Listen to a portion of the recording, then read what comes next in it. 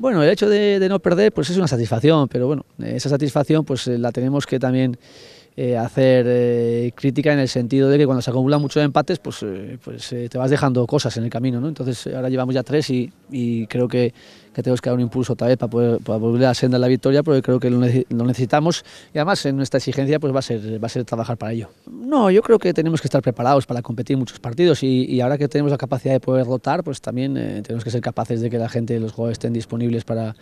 para las necesidades del equipo y, y, llegar al rendimiento que queremos. A partir de ahí, pues la, la temporada irá hacia adelante, nos encontraremos cada vez momentos más decisivos, partidos eh, más duros y necesitamos que, que el equipo sea preparando para ello.